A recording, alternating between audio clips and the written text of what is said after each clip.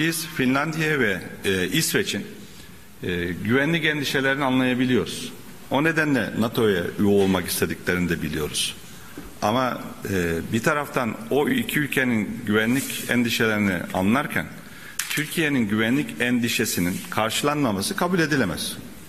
O da terörle mücadeledir. E, Finlandiya ile baktığımız zaman göreceli olarak o kadar büyük sorunumuz yok. Onlar da bazı adımlar attılar ve atacaklarını da söylüyorlar. Ama İsveç'e baktığımız zaman bu adımlar atabilmek için e, yasa değişikliğine ve anayasa değişikliğine gitmek zorundayız dediler. Gittiler ama bu faaliyetler artarak devam ediyor.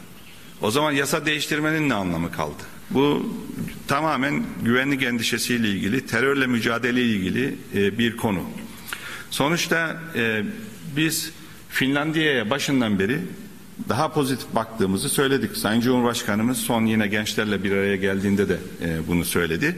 Ama NATO üyelik iki ülkenin üyelik sürecini birlikte götürmek istiyor. Bugüne kadar o iki ülke de böyle istediler. Eğer böyle bir e, üyelik süreciyle ilgili e, bir karar verilirse ayrı ayrı da değerlendirme konusunda Finlandiya'ya daha pozitif bakabileceğimizi bizzat Sayın Cumhurbaşkanımız söyledi. E, Dolayısıyla bizim Türkiye olarak e, tutumumuz da bu konuda aynı Peter gibi e, bir Müslüman olarak e, farklı inançlara ve kutsal kitaplara aynı saygının gösterilmesi gerektiğine inanıyoruz.